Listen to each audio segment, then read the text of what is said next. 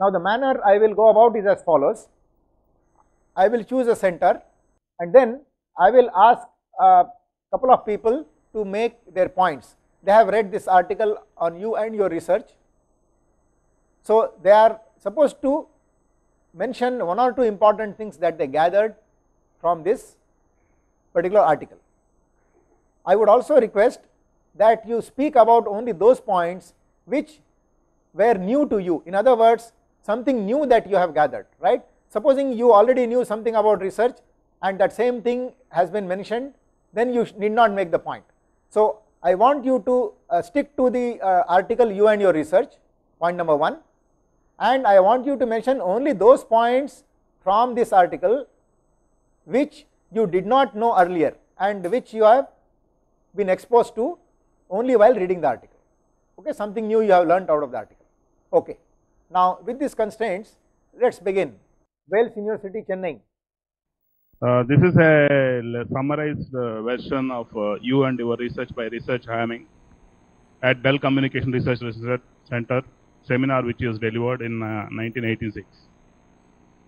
Mainly, I am able to identify two points from the entire session. One is luck favors the prepared mind.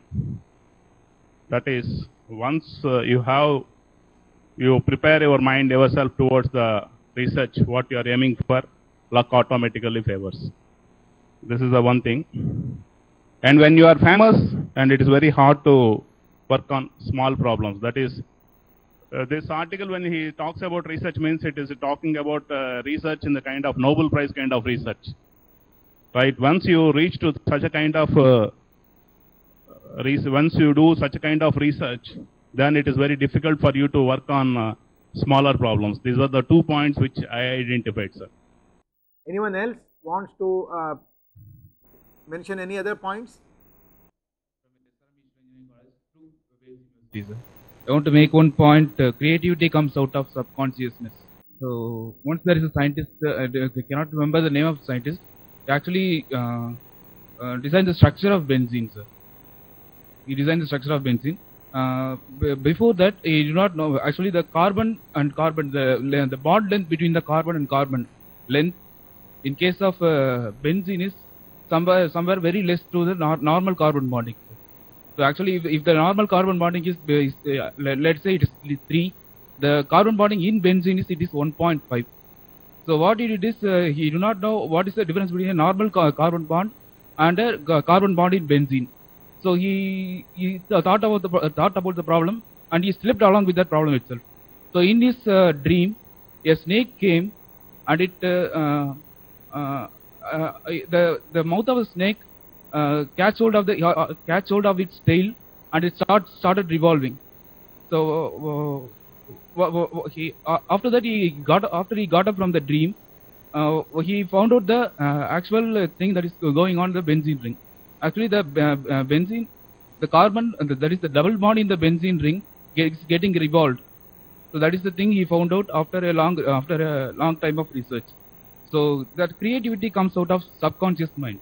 So it's the point. Uh, uh, that is a new thing I came came across in the in the you in the from the you you and your research. So, Richard, um, so Richard Hamming, has he made that point? Yes, sir. He made it point. Okay. So, Alluri Institute of Management Sciences, Warangal. Well, you and your research, I need, I want to enlighten some points when we are uh, taking care of uh, research from my point of view after reading this uh, particular research paper. As it says that uh, brains are not enough, you also need courage. So as Hammings said that uh, you need to have the courage to do the research and uh, you need to continue the research under any circumstances. And uh, one more thing is that make best of your working conditions. Whenever most of our uh, co-participants are saying that uh, we are not getting uh, sufficient time to devote on the res- research. But uh, having, uh, as clearly mentioned that your research and your working conditions will help you to complete your research as soon as possible and please make a best use of your working conditions. That's all sir, over and out. Okay. MANIT Bhopal. Uh, sir, uh, what I gathered from that article, I could not read the full article, but Uh, I went through it and uh, whatever I could gather in what I had read is uh, something that appealed to me was courage. Now, we should not lose courage as you were talking here, that we start uh, with too much of enthusiasm, our research work, and then finally we get frustrated. We ha- should have the courage not only to accept our success, but we should have courage to accept our failures as well. And then only we'll find some new ways to again get success in uh, the research work that we are doing, and enthusiasm will still remain there where it is. The other thing I wanted to uh, tell you that uh, something is mentioned about the age.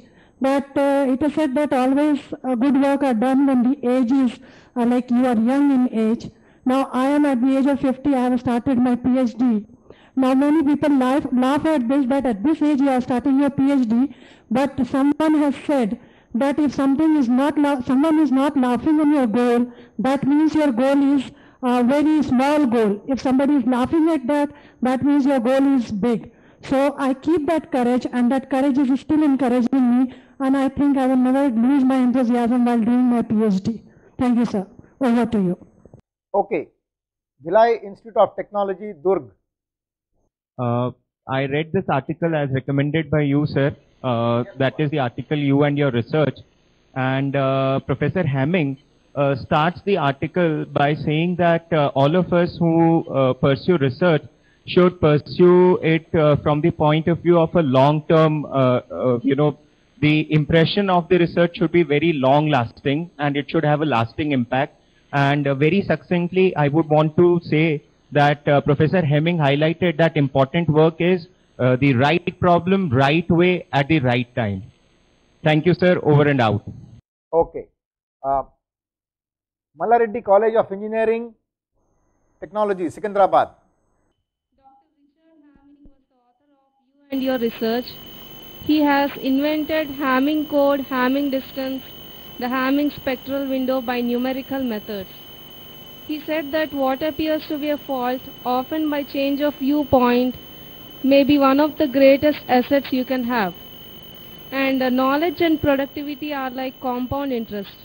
They tend to multiply as you go on improving yourself. And your research is more under your control than you may realize. And there are also some personal traits. Often successful people exhibit more activity, more energy than most people do.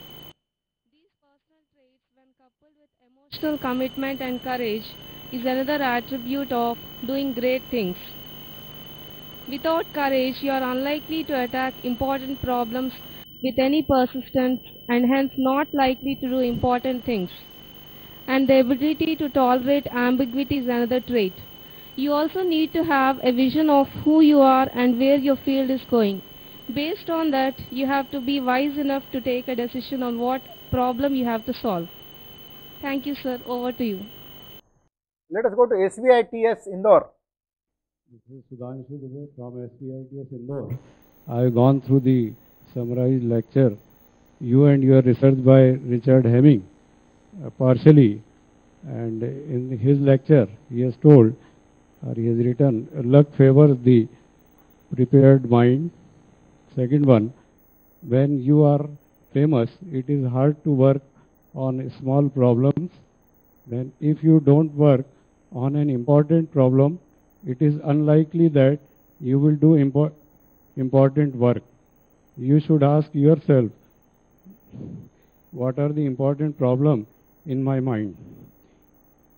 If you, you are deeply immersed and committed to a topic day after day, your subconscious has nothing to do work out of the problem. These are the things I read through this. Thank you. Uh, I just want to make two points, one which I favor and another which I don't. Number one, uh, he has said that it is a poor workman who blames his tools, the good man gets on with the job, given what he get and gets the best answer he can. So I just, uh, I favor this point. Uh, often, uh, many of us blame that we are not giving, uh, we, are, we are not getting good resources, we are not getting uh, secondary material or something. So we should rather do not blame the resources and come out with a good result. Another point which I do not favor is he said that don't struggle with the system all the time, rather follow and cooperate too. So sometimes it becomes very difficult for us to follow the system since there are so many loopholes in the system which require a kind of struggle on uh, our part. If at all we uh, have to make our research great, as he has already said in the beginning that he is talking about great research and not, a, not a general research. So these are the two points that I want to make. Thank you. Uh, okay, so let me repeat the points made in this center. So one point is that uh, Richard Hamming has said that do not always fight with the system. Uh, you should also cooperate with the system because this allows you time to do your research. Uh, the second point uh, that was made was Richard Hamming has said that do not blame your tools. So do not blame uh, that you do not have facilities and so on and therefore you are not able to do good research.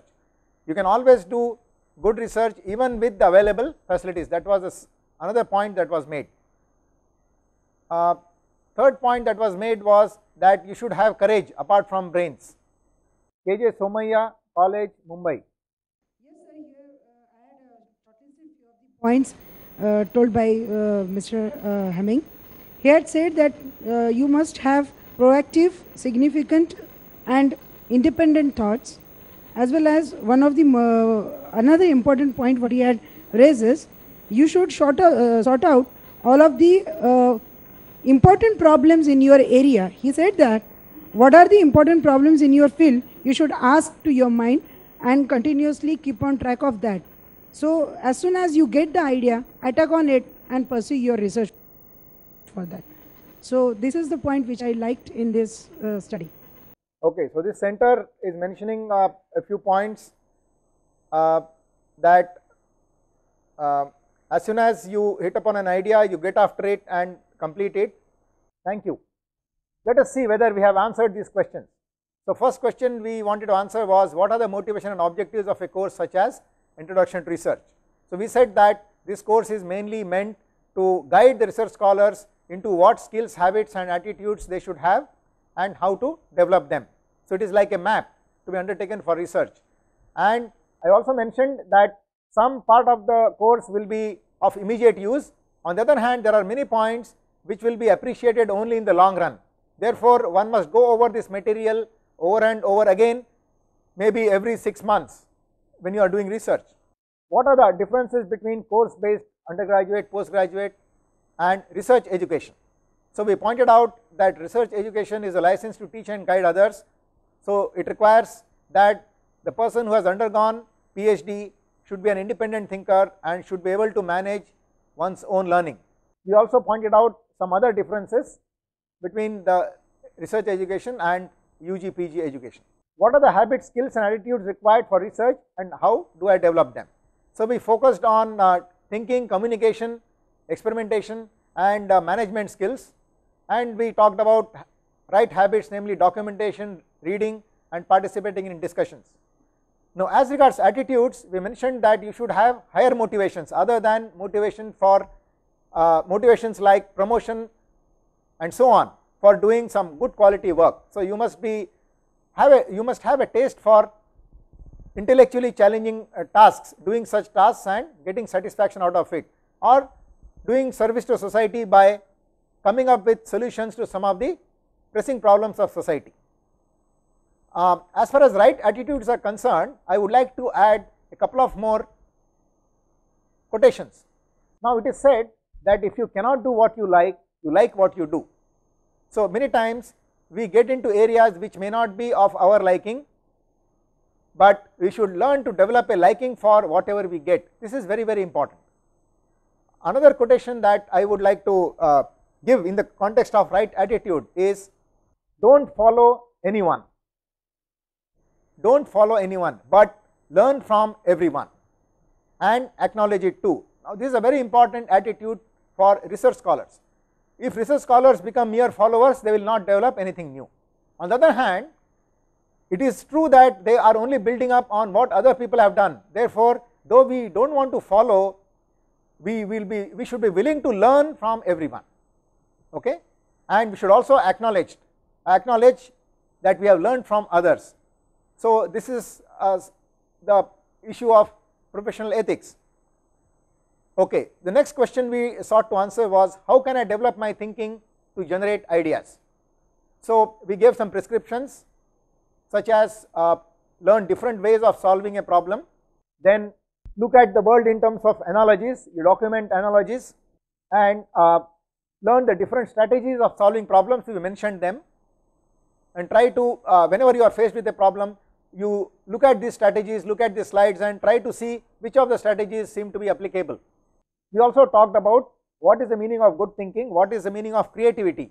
So we said you are product, you are said to be productive if you can come up with different methods of doing the same thing, a wide variety of different methods for doing the same thing. In how many different ways tabular, graphical or other ways can I present the data? This is another question that we answered. Then how can I find a problem and formulate a hypothesis? What, how and how much literature should I read? What are the essential elements of scientific methods? How do I design setups and experiments and ensure accuracy in measurements? How can one be an effective and efficient oral and written communicator? Where and how do I publish and patent my work? How do I manage stress, time and my guide and research student? And what are the ethical issues in research? We focused on answers to these questions. So, it is not that we have uh, our treatment is exhaustive and we have discussed all aspects related to these questions, but we have touched upon some important topics. Yes, I think uh, uh, thank you all for uh, your time. Uh, I would like to uh, conclude my lectures at this point.